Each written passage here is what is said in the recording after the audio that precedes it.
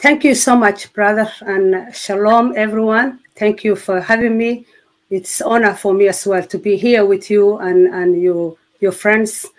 And uh, if I talk about my testimony of my past, I'm from Somalia. My name is Shania Gabo, born in Somalia, capital of, of Somalia called Mogadishu. And uh, I used to be a Muslim, and Somalia is a Muslim country, Muslim Sunni country. And uh, my family are very religious uh, people and uh, I grew up as a Muslim. What I knew was only Islam and, and, and Sunni teachings. And uh, young age, I went to Quranic school. My family sent me there. Actually, I used to go after school as well. And every day study the Quran and learning by heart. And it was so difficult for me because uh, Quran is Arabic language and Somalia, we speak Somali language. We don't speak Arabic. So tell us, tell us more specifics now. You said you left, went to Europe, and, yeah. and then what happened after that? Uh, how what what changed that began to uh, help you focus on following Jesus, for instance? So, and we left in Somalia because of the civil war. Come to Sweden, and uh, I get married. My husband and I, and uh, we were still Muslim. And the first time I see Somali woman cover her head to toe, or dressed like Afghanistan, was in Sweden. I was shocked. And I said, what they are wearing? What is this? And uh, one by one, my neighborhood, they started saying, oh, this is the real, real Islam. Now you have to wear this dress. Now you have to be real Muslim now because we live in infidel country. And we came to Sweden and Sweden is an amazing uh, country, beautiful people. They welcome us. They and we learned the language. My husband and I, God has given to us two kids. So we had good jobs, both of us. And, uh, you know, we've been living in Sweden. We become Swedish citizen and uh, living in Sweden 12, 13 years. And 2005, in the beginning of 2005, I said my, to my husband, let us move to UK because I said I want to learn English. I could not say one word English. I could not communicate with anyone. And I said, mm-hmm. please let us move to UK because we are Swedish, we are citizen. Let us move to UK. And when I learn English or the kids are young, we can come back to Sweden. But God has another plan. All that years I, we've been in Sweden, no Christian come to us. No one shared the gospel with us. No one invited me to church. I never even met any Christian, Swedish Christian. So it seems like uh, we are in Europe, but we, we are in a Muslim country because all the Somalis or all the Muslims, they live same area. They move in one, one area. They have their halal shop. They are like uh, living the, like they are in their own country, you know. But uh, 2005, when I came to the UK, that's when God has saved me. So uh, Amen. my, my testimony starts from seriously from there because no one shared the gospel with me. I did not know any Christian, like I said. I came to the UK uh, just want to know the language, and learn the language. And before I even learned the language, and I, my husband started working as a taxi driver because he has to take care of the family. And right. I, I was uh, just uh, preparing and uh, going to class just to uh, English speaking and listening because I'm auxiliary nurse. I want to work care home or hospital, something like that. I was planning to do that. But before I did all of that, I had uh, we used to use internet and uh, send the emails uh, to our family, and all my family they are in Europe. They are not in Somalia. No one is in Somalia. Mostly they are in Scandinavian or in the UK. But and I used to communicate with them. One evening, my husband was working, and he was on uh, with a taxi, and I was mm -hmm. chatting with my family, and I was in the internet chatting and waiting Salatul Isha I was still Muslim. I was Which like a Muslim even prayer, like last prayer, last prayer. Yeah, yeah, yeah, last prayer of the day. But my heart was always empty. I used to have only fear of Allah. I never had a relationship with, with Allah because I was so scared of him because they say when you die, Allah will weigh you good deed and you bad deed and you will go wherever you done the most. Right. And I knew my good deed was not good enough. I was so had a fear, but I have to do my, my chores. I have to do what I'm supposed to do. Bless him pray, fast, and all that. And that evening, I was sitting there, kids are sleeping. She, you know, my husband is uh, working with the taxi, is out there, and I'm just chatting and waiting Salatul Isha, and it's supposed to be 11. Someone sent me video clip. I did not know that video, what the video was, and the video was um, the video clip. It started with the, you know, uh, the intro the intro was Quran, people reading the Quran, and I see a lot of men, and I see the flag of Islam, the black uh, flag, and everyone they had their, their uh, on their forehead, uh, there is no God but Allah, and Muhammad is prophet. You know the intro. There was a lot of like a clip, right. clip clip about Islam. And I was so excited and happy and thinking, wow, these people. And after that, when the, that intro finished, there was a group of men and I've seen they reading the Quran and talking Arabic, and there was another man sitting in front in front uh, uh, them, and for me, Quran was so holy on that moment. Quran was like my everything.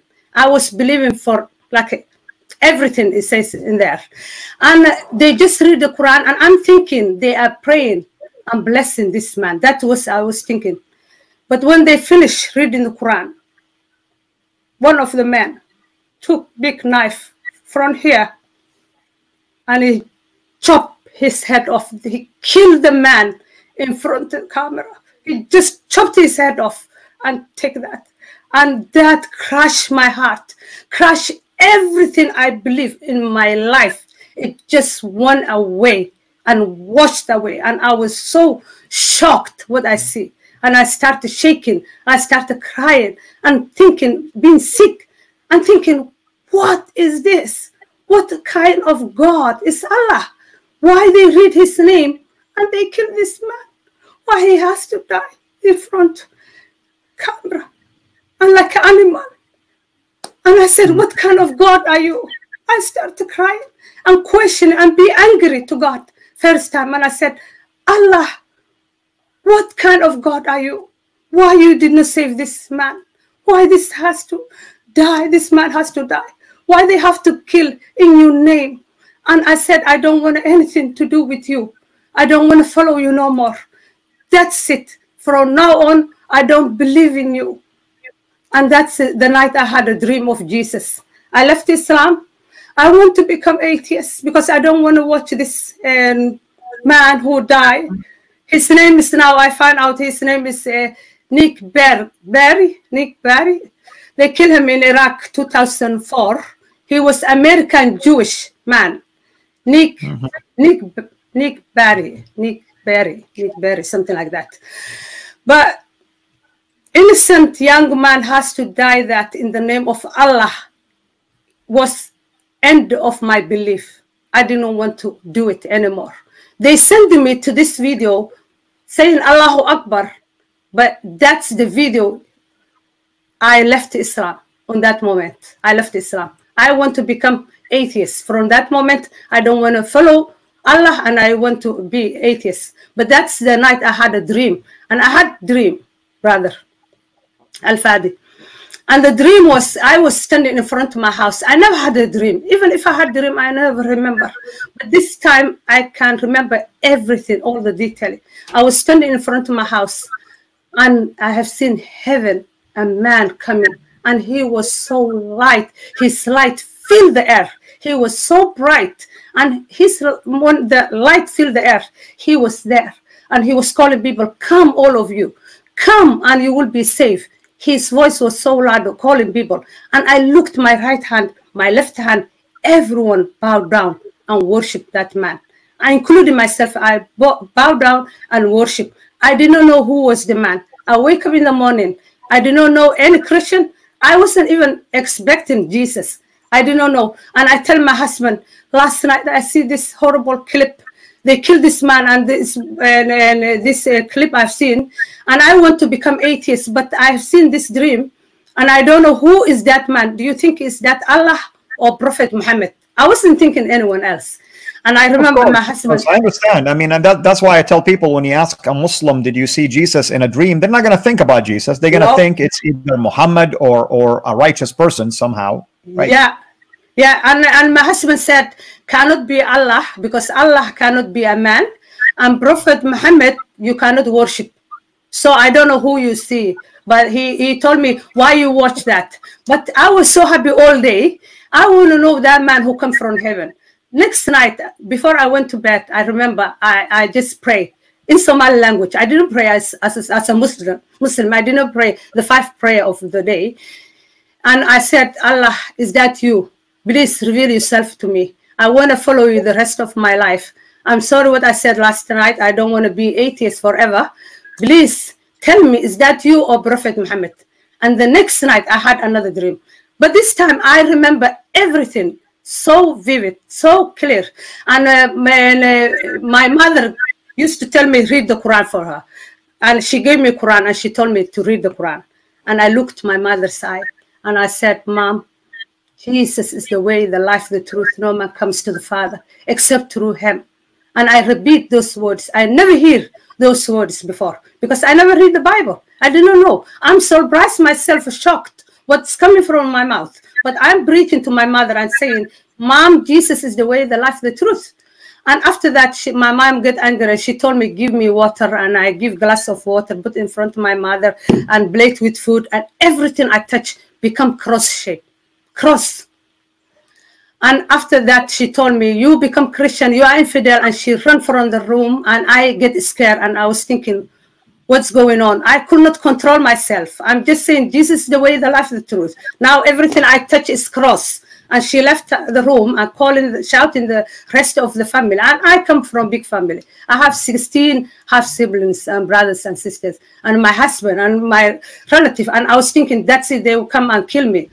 And that moment when I get scared, guess who came back to rescue me? The man I was worshiping the other night. He came and stood in front of me, and he lifted me up, and he calling me, my child, fear not. And he's holding me like that and lift me up and I can see the atmosphere, the roof of my house, everything. We just going upward. And he is like my dad and I'm his little child. I feel like that. And he's saying, child, fear not, fear not because you're with me. Anyway, we went up upward. To the end we came a place. The Lord showed me most beautiful place that place how it look like the houses the color the flower the music the golden road the streets. Is beyond our imagination. I don't have words to explain how it look like that place it's so beautiful no word to to to say right in that place how it looked like and i was just jumping up and down and i said where am i where am i what is this place and the lord Amen. said this is the place i prepared for you and everyone who believe in me. This is heaven. That is amazing. Heaven. That's amazing because that's John 14 right there. Heaven is real place, brother. Heaven is real place, and it is most beautiful place. Not only I was heaven, but I was with my heavenly Father. I was Amen. with my Lord, and Amen. this time, this all for me, only for me. It's just pouring me the, His love. And after that, He showed me another place. We did not go the other place, but he said, Shania, look over there. And there was a screen you can see on screen. And that screen was so dark, the place I've seen was so dark and, and, and only smoke coming. Very scary place. I did not want to look. And I said, Where is that place? I did not want to look. I get scared. And, and the Lord said, All your family are there because they don't believe in me. Anyone who don't believe in me will go there, the dark place. But you are here with me. My child, fear not. I will be with you. I will be with you. Fear not. Fear not. I never leave you nor forsake you. Those words when he said, and I'm holding him, hugging him, my alarm wake me up. And it seems like I'm just someone just put me down to my bed. I just jumped from my bed and I remember going to my computer and Google it. What does that mean? Jesus is the way, the life, the truth. What I was saying to my mother. Am I crazy? What's going on? Now I remember the words I was saying to my mother. And I looked and John 14, 6 come. I am the way, the life, the truth. I cry for happiness. And I never leave you nor forsake you. I come. Everything I ask, everything I put on there, it comes like a verse from the Bible. First time in my life, I've seen the, the Holy Bible from the internet and I fell in love. I want to just uh, comment on what you said because uh, I see someone uh, here who is claiming that uh, you saw Satan. You know, so I want to clarify. You double check what you saw with the scripture, the word of Yeah. God. Yeah. Faith comes by hearing, and hearing by the word of Christ, by the word of God. So you didn't just take the dream and make assumptions. You verified and you saw that there is something to be said from the scripture. I just want to clarify that because this person might be confused, you know, because Yeah. Muhammad saw Satan, not you. Yeah. Muhammad, No. on the other hand, did see Satan and thought Satan was Gabriel. That's a whole different story. Yeah. You saw yeah. the real, you know, Yeah. um, uh, creator, the year God, uh, the, the real God, The- our Lord the- Jesus Christ. the real God is real, and uh, it's not it's not Allah. Jesus Christ is the real God, brother. You need to Just check the read the word of God. Anyway, if I come back to uh, I I put on there how Jesus will come back. Now I know it was Jesus because I've seen from the Holy Bible everything I was saying to my mouth and everything the Lord was saying to me is in front of me from the Holy Bible. And I said how he gonna come back. And there was another verse. He will come from heaven. Every eye will see. Every knee will bow down. Every mouth will confess Jesus is the Lord. And that's what I was doing. I was the other night, I was worshiping him, the man who come from heaven. And it is from the word of God. I found that from the Bible. More I read, more, more I feel in love with the Bible. And there was another verse says, uh, John 3 16, For God so loved the world, he gave his only begotten Son. Whosoever believe in him should not perish but have everlasting life. I never hear those wo- words from the Quran. Amen. Allah never Amen. loved me never love every anyone. And now i'm hearing the real creator the god almighty loves everyone and everyone who believe in jesus will have everlasting life. And after that brother you know because coming from islam and you have to do good deed now i'm so happy. Now i'm so excited. Now more i read more i fell in love with that moment like five minutes ten minutes. More i read i'm more i want to follow jesus. And i said how many good deed i will do? I remember how many good deed to do to go to heaven because i want to go to jannah. I want to have a relationship with jesus.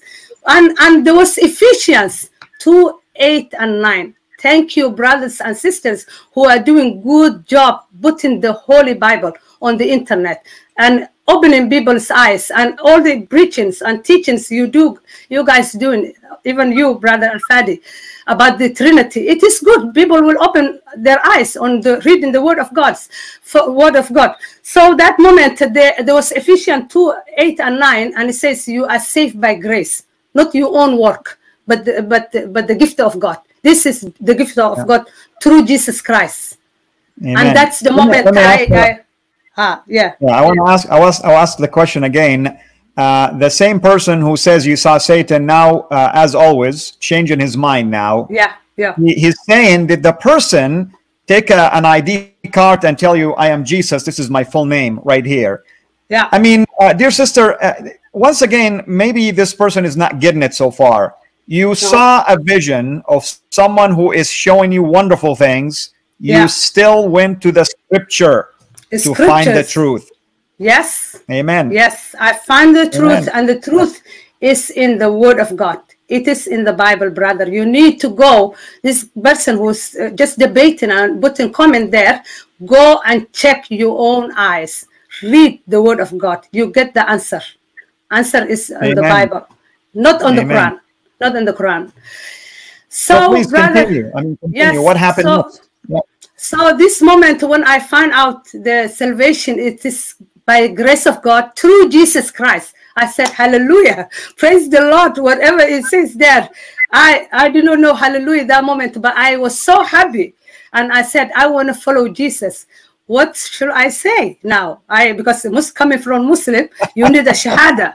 Shahada. I know. I, know. No. I, I said the same thing. My wife said the same thing. We always think the same way. yes we're thinking that because our mind being uh, brainwashed islam and uh, just uh, that you have to you're just following you have that uh, point of view you know and i said how what should i read what is the shahada now i just write it some words different words and uh, in english uh, my english was not good but swedish swedish language. That time i was uh, using the swedish language and also somali language. And i said i want to follow jesus. What should i do? And there was a little prayer salvation prayer. They call salvation prayer. Read this prayer after me or read this prayer and you will be safe. And I remember this prayer, the small prayer, I repeat like maybe 100 times just to make sure I'm a follower of Christ. But brother, from that moment, when I get saved, I read the prayer and uh, salvation prayer. I received Jesus and kneel down and I said, Jesus, you will be my Lord and Savior. I will follow you the rest of my life. And I was so excited. And I said, I cannot be silenced. You know, God put my heart like a passion just to share this good news to everyone who comes in front of me, especially mm-hmm. Somali people, because Somali people, no one going to them, no one sharing with the with the love of Christ. No one came to me 13 years and living in Europe. So if I don't go, who will go and tell the good news to them? So I started telling to my husband. My husband, when he come from work, I said, you know, you remember the dream I had first night? I had another dream, and now I read from, from the from the Bible. I get everything from the Bible. The man I see and we worship, that was not Allah. That was not Prophet Muhammad. That was Jesus Christ, and I am his follower. And Jesus is the way, the life, the truth. Those words I used to start preaching people and just telling them Jesus is the way, the life, the truth. No man comes to the Father except through him. Because they pray all the time, Muslim, Fatiha, Surah Fatiha, and it says, lead us the right path. Now I found the right path. I will Amen. share with everyone. Hallelujah. so I uh, and, and brother, my persecution started from that day. I was shocked. Okay, that's How, good. Let's stop right here because I want yeah. people to know that this is real. And I tell you why I want to stop you right here because there are people here that are claiming that, uh, which is typical. I'm sure you've heard it many times, that you are an actress, you're acting like you're a follower of Jesus, that you've never been a Muslim. I mean, what do you say to things like this that are absolutely ridiculous, to say the least? Anyone who would use comments like this have yet to think about what you're saying. What do you say okay. to things like this? I mean, and that person, I will say, if I'm, if I was, was never been Muslim, why you threaten me every day and saying we kill you because you're infidel? There, there you go. so you have to have you don't need Good to understand. Yeah. Every day we get a message after message. We kill you. You're infidel. You kafir. We. So that's what happened every day. So yeah, I'm Somali person. My family can't hear me now. I lost all my family, my relative, my everyone because I left so, Islam. Yeah. So but what this person is saying. What, yeah. what this person, dear sister, is saying that Somali yeah. people are not Muslims at all. That's what he's saying. Oh, praise is God. It? I did not know that. Thank you. That's so, prophecy. So how will the that, Somali prophecy. people react to them uh, to, to this? I mean, don't Somali people brag about the fact that they're Muslim and they even want to consider themselves to be Arab as well? they think they are Arab. They think they are the only Muslim. They are more Muslim than Arab people. They are the only Muslim in this planet Earth. You, you don't know. You know, if you go to Open Doors, uh, the website, you will see Somalia is always been the second or the third most persecuted country in the world if you are Christian. So how that come if we if we are if we used to be uh, Christian or, or, or that? So this person, I think he doesn't know about Somalia. Google it, oh. find out Somalia is a Sunni. None it's of them Sunni. know anything. All they no, do, they you know, the parrot. We call it babaga in Arabic. Yeah. The parrot, yeah. just yes. repeating things like this. Yeah. And what I want them to do sometimes, instead of doing this, just to do this one time and stop talking because they need to use their brain. God yeah. has given them brain that can work. They don't. They refuse to use it. Yeah. So, with that says, I want to thank, of course, everyone for uh, joining us here. We, we have an amazing testimony by our dear sister Shania from Christian uh, Somali Christian TV, which, by the way, her husband will be with us next week at the same time yeah. to yeah. share also his testimony. And I'm hoping that in the future we'll work together with them to do teachings and reach out and and uh, yes. other things.